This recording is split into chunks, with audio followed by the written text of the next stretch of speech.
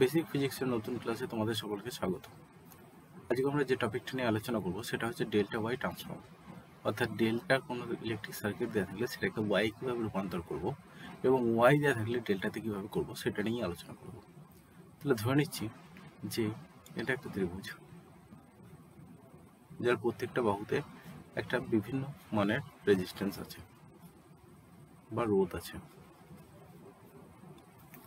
ওকে তো ত্রিভুজের নামগুলো দিই। এটা হচ্ছে ধরো, এটা এ বিন্দু, এটা হচ্ছে বি বিন্দু, এটা হচ্ছে সি বিন্দু, তিনটে পয়েন্ট ওকে এখন এই যে রোধটা, ধরো এই রোধটার মান হচ্ছে আর ওয়ান এই রোধটার মান হচ্ছে আর টু আর এই রোধটার মান হচ্ছে আর থ্রি তিনটে আলাদা আলাদা রোধ এবং তিনটে রোধের মান হচ্ছে আলাদা। এখন এই সার্কিটটাকে যখন আমরা ওয়াই সার্কিটে নিয়ে যাব, অর্থাৎ ওয়াই সার্কিট বলতে কী হচ্ছে? যে ওই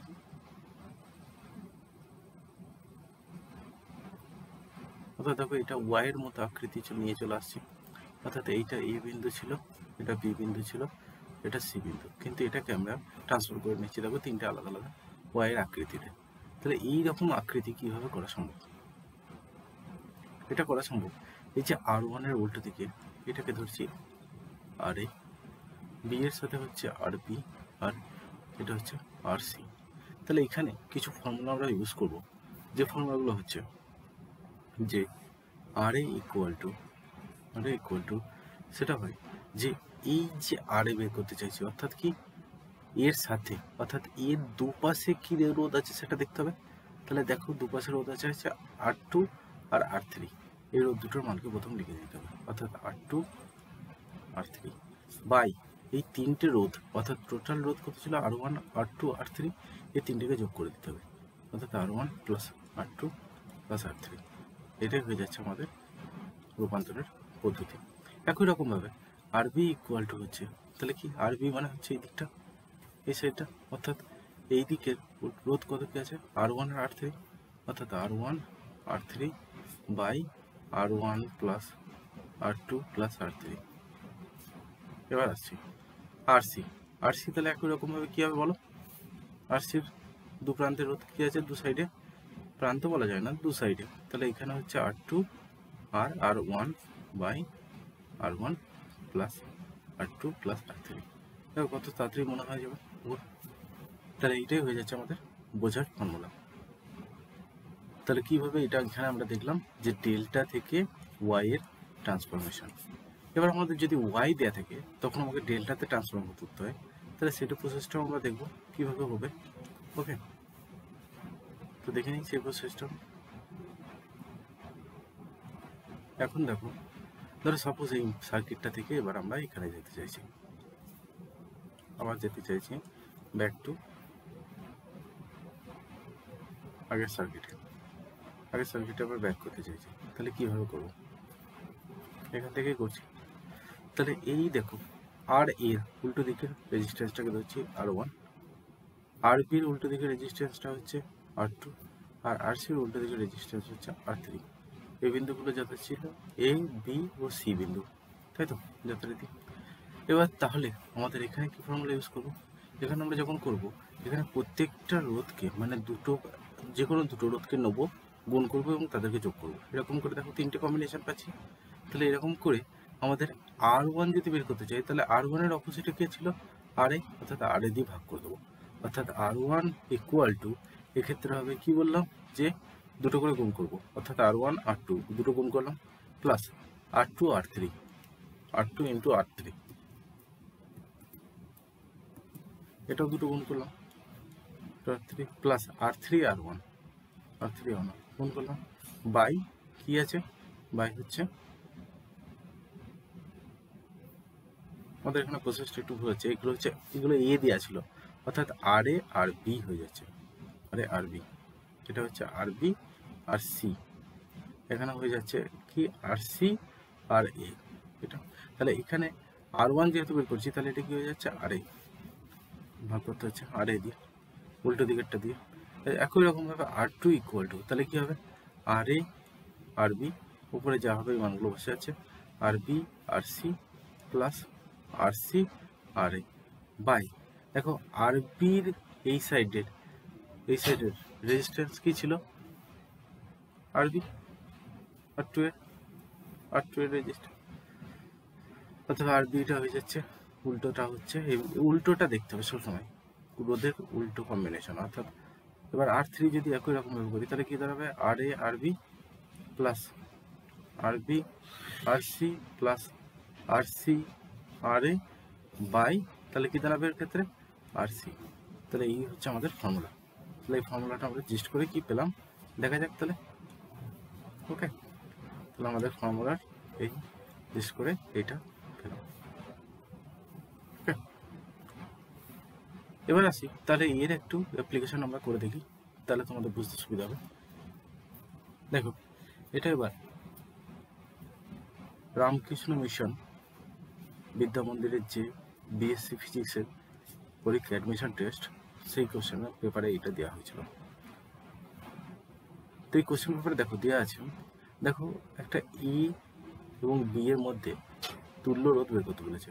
এখানে রোধগুলো দিয়ে দিয়েছে, দেখো তিন, দুই, এক মাঝে দুই, তিন এগুলো দিয়েছে। তাহলে এটাকে আমরা কি হয়েছে ডেল্টা ওয়াই ট্রান্সফরমেশনের মাধ্যমে এটাকে বের করব। কীভাবে করি দেখি? ওকে তাহলে প্রথম আমরা যেটা করব, সেটা হচ্ছে এই সার্কিটটাকে যদি আঁকি, দেখো হুইস্টন ব্রিজের মতো আমরা আঁকতে পারি। হুইস্টন ব্রিজের মতো। কিন্তু এখানে দেখো হুইস্টন ব্রিজের যে নিষ্পন্দ বিন্দু সত্য সেটা কিন্তু মানছে না। অর্থাৎ P by Q equal to R by S হচ্ছে না। এটা হচ্ছে এটা এখানে দেওয়া আছে কত? দুই। এখানে আছে তিন, এটা আছে এক, এখানে আছে তিন, এখানে আছে দুই। অর্থাৎ দেখো, এখানে কিন্তু P by Q equal to S by R হচ্ছে। অর্থাৎ ওই সূত্র মানছে না।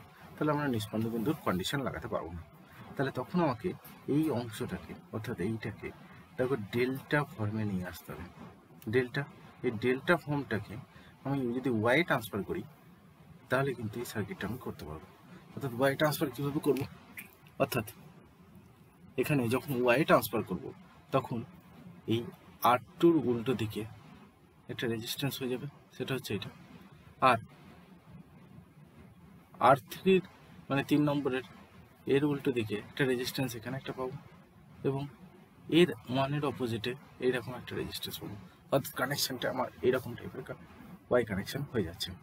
তাহলে সেইভাবে যদি আমরা কানেকশানটা করি, তাহলে দেখো প্রত্যেকটা রেজিস্ট্যান্সের মান আলাদা আলাদা নাম দিয়ে দিয়েছি। বোঝার সুবিধার জন্য। তাহলে একের অপোজিটে দিচ্ছি আর ওয়ান দুইয়ের অপোজিটে দিচ্ছি আর টু আর তিনের অপোজিটে দিচ্ছি আর থ্রি তাহলে আর ওয়ানের মান কত দাঁড়াচ্ছে? আর ওয়ান ইকুয়াল টু দাঁড়াচ্ছে দেখো। আর ওয়ানের দু সাইডে রেজিস্ট্যান্সগুলো কী আছে দেখো তো? তিন আর দুই বাই মোট রোধ, অর্থাৎ এক প্লাস দুই প্লাস তিন। তাহলে কত হচ্ছে? এটা নিচেরটা হচ্ছে হরেস ছয় আর ওপরে হচ্ছে ছয়। তাহলে ছয় ছয়, এক হয়ে যাচ্ছে ওয়ান এটা হয়ে যাচ্ছে ওয়ান ওহম। ওটা হচ্ছে ওয়ান ওহম এবার দেখি আর টু একই রকম ভাবে। তাহলে কি দাঁড়াবে আর টু আর টু তাহলে উল্টো পাশের দুটো কোন কি কি আছে? মানে রোধ কি কি আছে? রোধ আছে যে একটা আছে ওয়ান থ্রি আর একটা হচ্ছে নিচে হয়ে যাচ্ছে one plus two plus three plus three অর্থাৎ কি দাঁড়াচ্ছে? এটা হচ্ছে দেখো হাফ আর আর থ্রি একই রকম ভাবে। আর থ্রির সাইডে কি রয়েছে? একটা হচ্ছে এক, একটা হচ্ছে দুই। অর্থাৎ কি দাঁড়াচ্ছে এক প্লাস তিন প্লাস দুই। অর্থাৎ ইকুয়াল টু কত দাঁড়াচ্ছে একের তিন। পেয়ে গেলাম। তাহলে এখন দেখো, এই সার্কিটটাকে যদি আরেকবার আঁকি, তাহলে আঁকলে দেখো, এটা দুই, যা আছে তাই রয়েছে। তিন, যা রয়েছে তাই রয়েছে। এটা এ বিন্দু। আর এখানে আর টু রয়েছে। আর টুর মান আমরা কত পেলাম?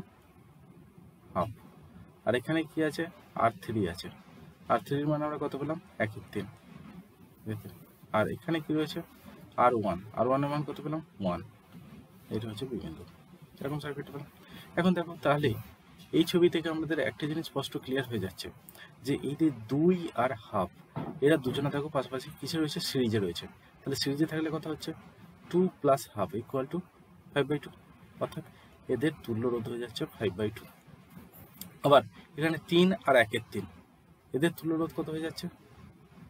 তিন প্লাস একের তিন, অর্থাৎ টেন বাই থ্রি এদের তবে তুল্য হয়ে যাচ্ছে, যোগ হয়ে যাচ্ছে জাস্ট এবার এরা দেখো, একে অপরের সাথে কিছু রয়েছে?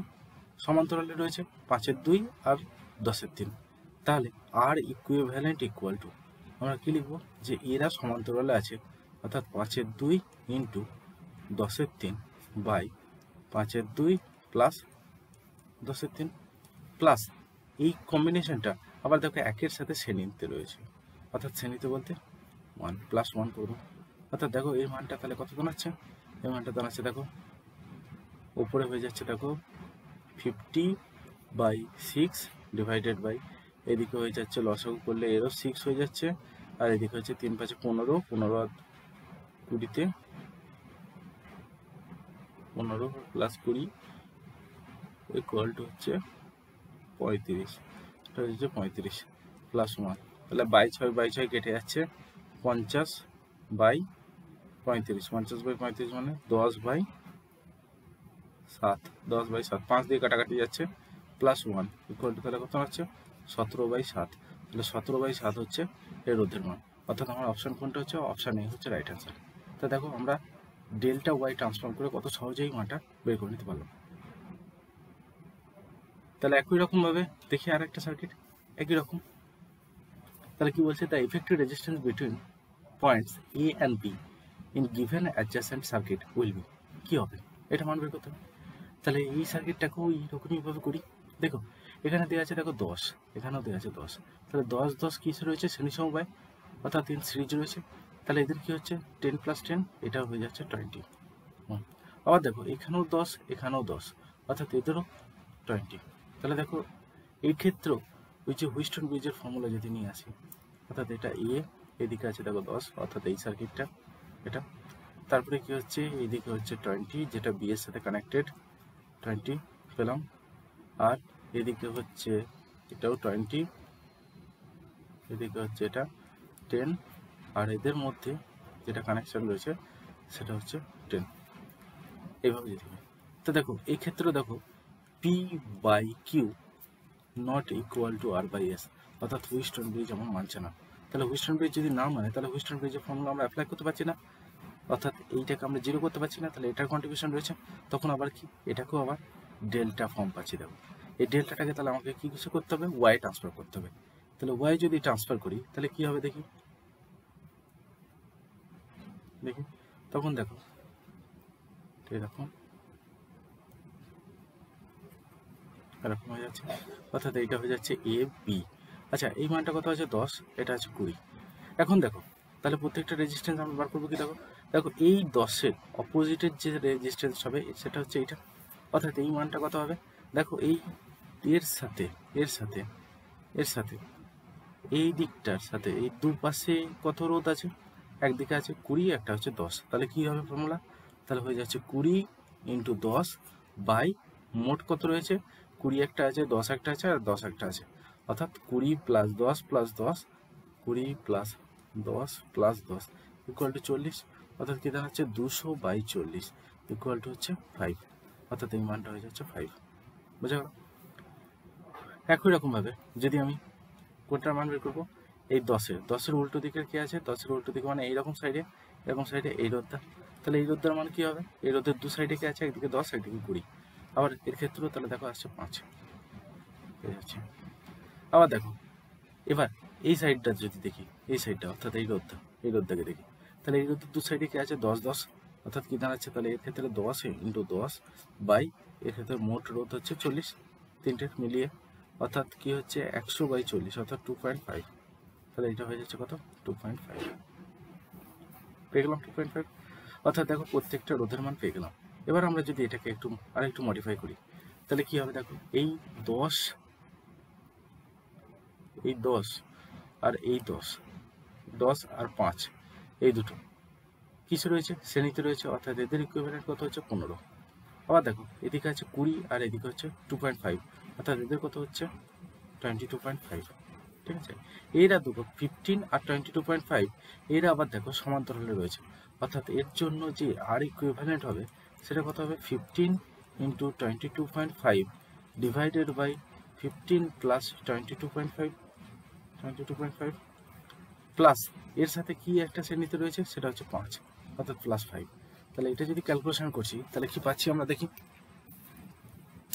তাহলে দেখো, এটা ক্যালকুলেশন করলে আমাদের যে ভ্যালুটা বেরোচ্ছে, সেটা হচ্ছে fifteen into twenty two point five which is equal to three thirty seven point five divided by fifteen plus two twenty point five two twenty point five equal to হচ্ছে নাইন অর্থাৎ এই মানটা বেরোচ্ছে নাইন অর্থাৎ nine plus five which is equal to fourteen অর্থাৎ fourteen ohm হচ্ছে এর answer অর্থাৎ আমার অপশান কোনটা হচ্ছে? এখানে অপশান ডিটা হচ্ছে রাইট অ্যান্সার বোঝা গেল?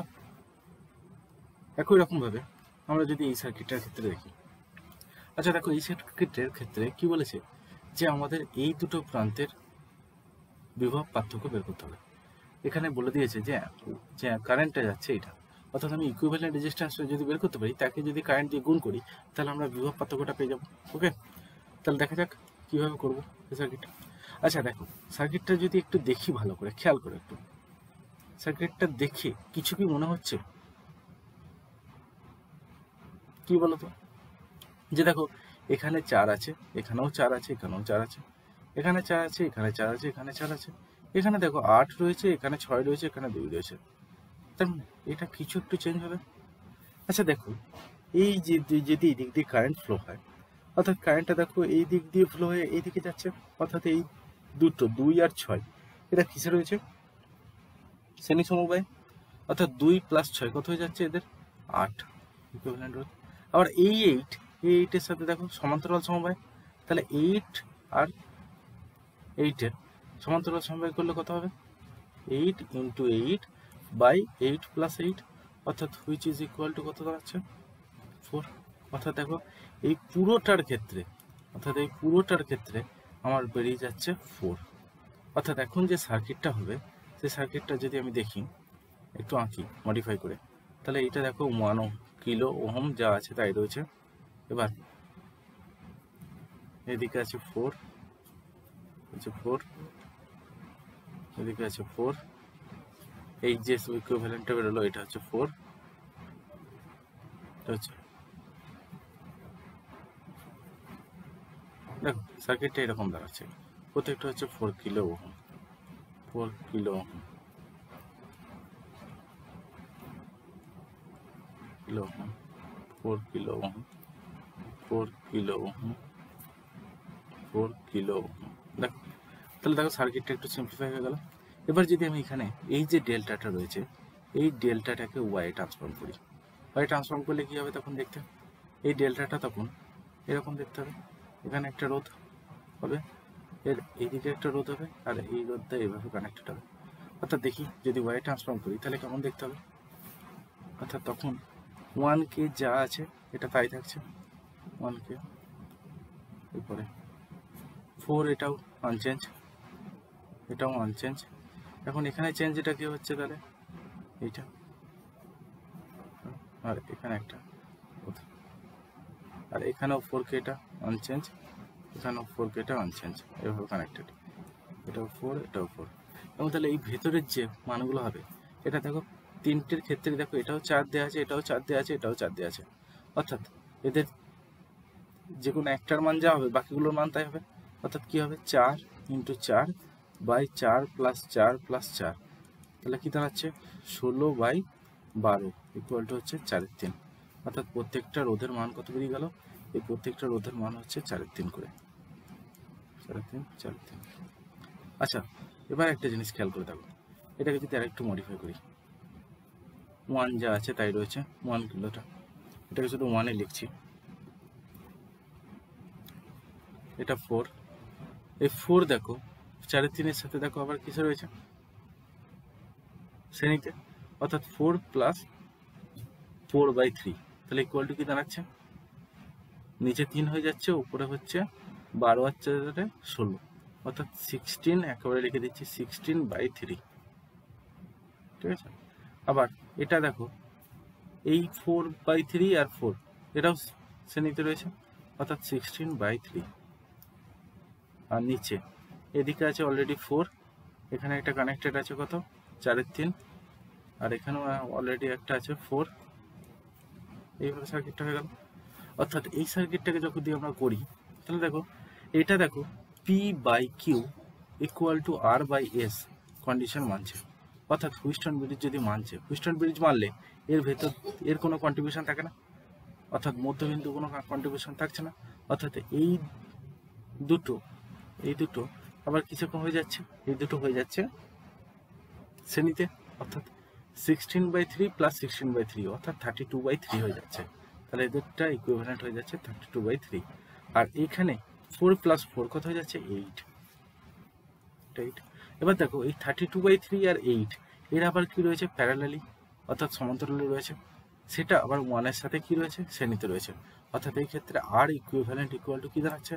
আর ইকুইভ্যালেন্ট ইকুয়াল টু দাঁড়াচ্ছে thirty two by three into eight by thirty two by three plus eight plus one এটা আসছে বাইরে। অর্থাৎ ইকুয়াল টু কি দাঁড়াচ্ছে?